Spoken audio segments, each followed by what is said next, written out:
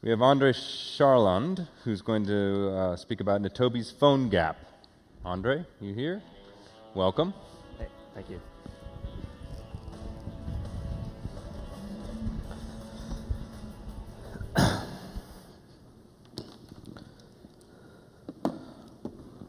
Right.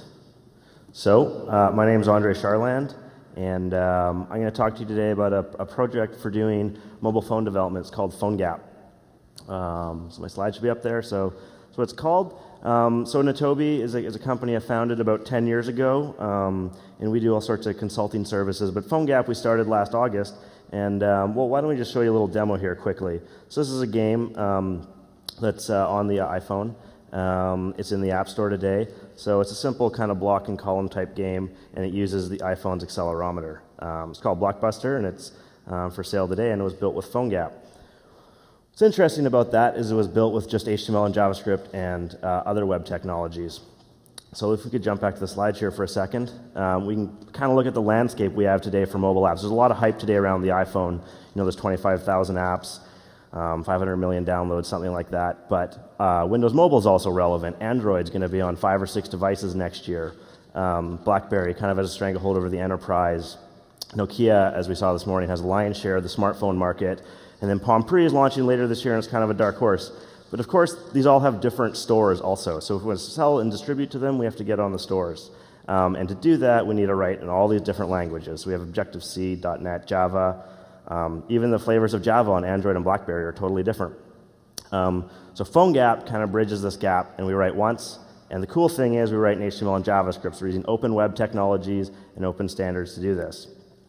Um, so what is PhoneGap? It's an HTML and JavaScript development framework. It's cross-platform. Uh, runs on iPhone and Android today. Um, it's uh, open source, MIT license. You can download the code today on GitHub or Google Code. Um, and has native API access. Um, so let's take a look at some demos here um, with uh, PhoneGap. So um, they've kind of zoomed out a bit here, but that's okay. We can watch our accelerometer, um, so you can see the numbers updating.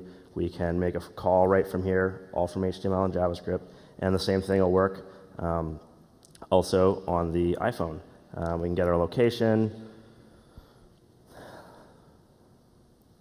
so there's our lat long, perfect.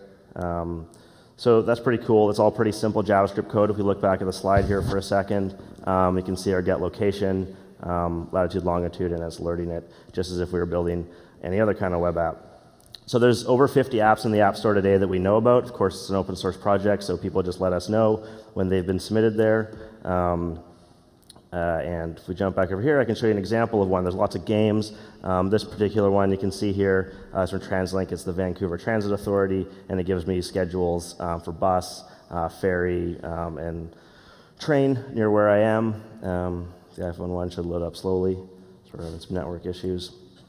Um, so let's jump back over to the slides here, and we can talk a little bit about the developer community. We have um, the traffic in the mailing list in our Google group is doubling about every month. Uh, we're giving a lot of conference talks. We're speaking at OSCON later this year, JSConf, uh, Ajax. We've been covered in eWeek and InfoWorld. Um, so people are really um, jumping on board and, and, starting to develop a PhoneGap. Um, so what we're working on for the rest of the year is finishing platform support for Nokia and Palm, which are web native. Um, it's a bit more work to do BlackBerry and Windows, but we're uh, making progress there too.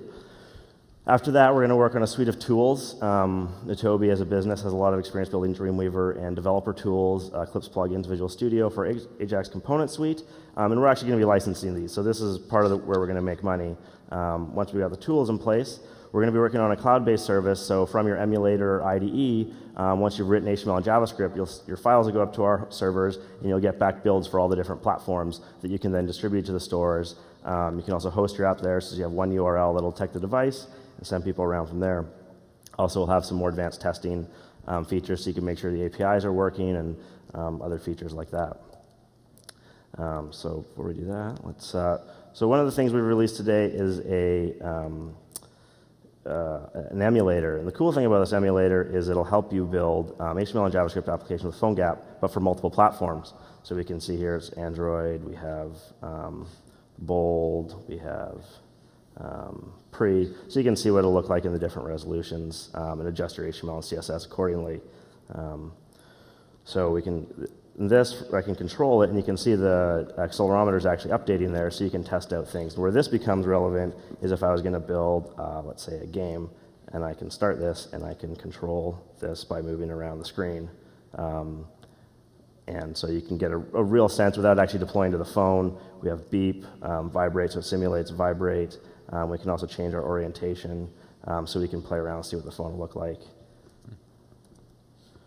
Um, so uh, PhoneGap is totally funded by Nitobi today, and uh, you know we're building out the, the uh, suite of tools and the rest of the platform for the rest of the year. Um, we're based in Vancouver. We have 15 developers, and we've been in business for 10 years.